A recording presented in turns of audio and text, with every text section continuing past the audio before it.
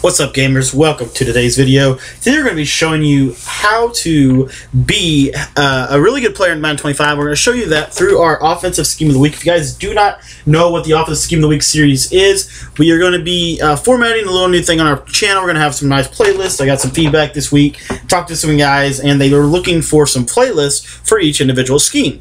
Uh, so what we're going to do here is we're going to have a scheme we're going to put it in its own individual playlist every single uh, week. And so for example, this week's playbook, we're breaking down the St. Louis Rams offensive playbook. So you'll see on my channel now, if you go to my playlist tab, uh, I will have all the playlists and I'll have this one begun under St. Louis playbook. So, for example, all the uh, scheme of the weeks for last week will, will already be in there. And I'm only going to go back that far just because it's a lot of extra tedious work that I uh, honestly just don't want to do. Uh, I just want to start fresh, start new. So we're going to start with the St. Louis base play today. And uh, the base play for the St. Louis playbook, this is something that I really, really wanted to talk about a lot.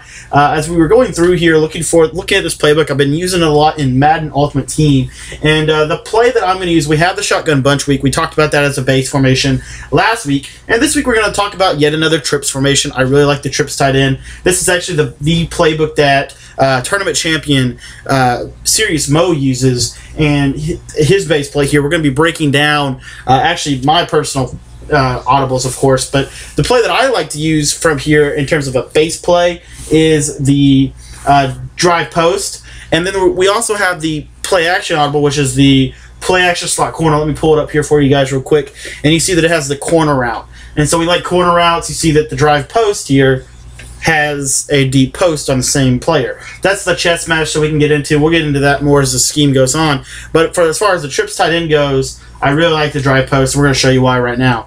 So getting into the defense here, we're going to come out in just a regular uh, man first. We'll show you man and zone. So real first here for the base play, I just want to show you against man coverage.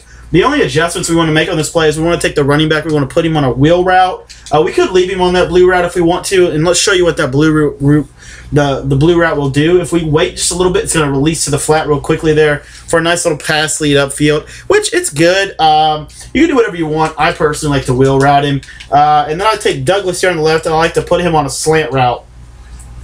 And we're going to motion in Douglas two snaps and then snap the ball. Our first read on this play is always the wheel route. If they're not honoring the wheel route, we will throw it with consistency. Steven Jackson, one on one in the open field. I like my chances uh, against even Richard Sherman, the best quarterback in the league, and the Madden 15 cover vote champion. So our next read on this play is this little slant route coming across the middle and it's a very good man beating route. Now, the other couple of routes that I'm going to show you today are not quite necessarily man beaters, they're more service, uh, better service for zone. So let's take a look here, and you'll see our, our next read here, this corner route with the pass to the outside. It's not always going to be man. As you see there, Bobby Wagner did get a pick. Uh, so you just want to kind of monitor. If it's open, throw it. If it's not open, don't throw it. Don't ever throw a pass that you don't at first least look. But there you see it does beat man. So sometimes it'll be man, sometimes it won't. It's finicky like that. Welcome to Madden 25. And uh, that's all I'm going to have to say about that. Our next read here is this post right over the middle, passing down the inside, and you see it's just not a good route against man, uh, to be quite honest. But what you'll see start happening is if they start overplaying. So, for example, they may shade white to the out uh, outside to stop the corner route that we'll be throwing if we, uh, when we call the PA slot corner play which is a play that I've already broken down on my channel. So now they pass, they bounce into the outside, and now you have that pass lead open. So I hope you see what I'm getting at there. It's a chess match game, and uh, when they work the shades, that's when you work the combo routes and things like that. So, and then our final read here, this is a really one of my favorite routes, is this little inverted in route, and it's a very delayed route. It's only going to be open if they're running like max coverage defense. So, say they're you know dropping here, they're going to drop this guy here, uh, you know, and they're going to play uh, you know, heavy mix coverage defense with a user player over the middle to stop that slant route. And we're like, okay, so we're going to wait in the pocket here. And you see this in route just does a really nice job.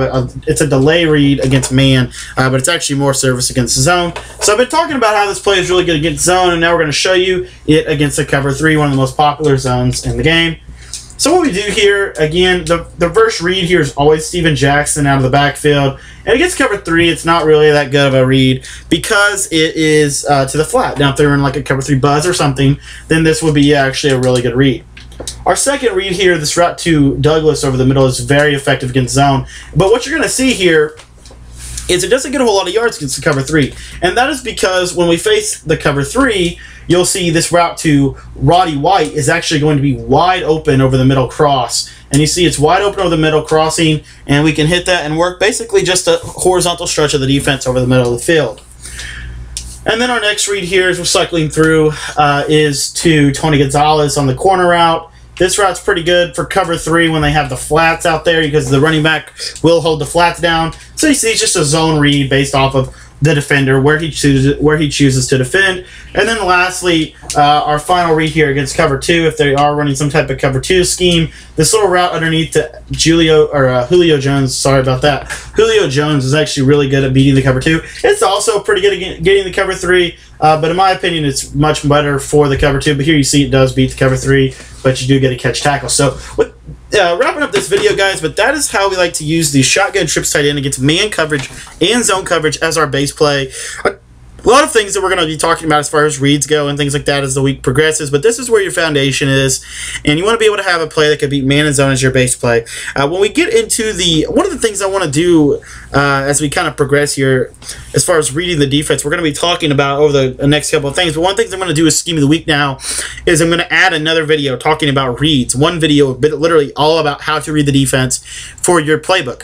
So instead of doing the depth chart, uh, instead of doing the depth chart podcast, I'm going to do the depth chart. They're still going to get all the same content, just stay tuned to the channel. You'll see everything. Uh, but basically, what I'm getting at here is we're going to have one video every week that is all about your reads, and we're going to talk about how to read the how to read the defense when you're running this scheme, and how to read the offense when you're running our defensive scheme. So hopefully, you guys stay tuned for that. That's what we got for you guys today. Be sure to subscribe to my channel, and if you guys are uh, new to the channel, also leave me a comment. Let me know what you are struggling with in Madden 25 that I could possibly help you out with. Uh, I'm not the best Madden player, but I do try to be pretty good, and I think that I've gotten my game to a pretty good level, and I do know a little bit about Madden 25. Thank you so much for your time, and be sure to stay tuned for more Madden 25 tips, tricks, and tactics, and also Madden 15 news. Thanks, guys. We'll talk to you guys later.